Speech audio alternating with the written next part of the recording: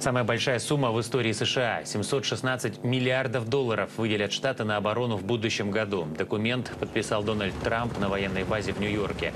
По планам число военнослужащих должно увеличиться на 16 тысяч. Также будет э, бюджет предполагает обновление ВВС, разработку новых ядерных боеголовок малой мощности для запуска с подводных лодок и не только.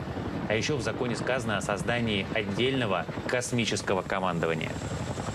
This authorization Этот закон дает нашим бойцам силу победить в любом конфликте быстро и решительно. Мы заменим устаревшие танки, устаревшие самолеты и корабли самыми передовыми и смертоносными технологиями. С принятием нового бюджета мы увеличим размер и мощь нашей армии, создав тысячи мест для новобранцев. Назвали проект в честь сенатора Джона Маккейна, известного резкой и частой критикой в адрес России. В самом законе перечислен ряд мер по противодействию Москве. Еще документ обязал администрацию США предоставить Конгрессу список лиц, связанных с разведкой России, чтобы те попали под санкции. Упоминается в докладе и закупка российских зенитных, э, рак- зенитно-ракетных систем С-400 Турцией и как это повлияет на применение Анкарой американских систем.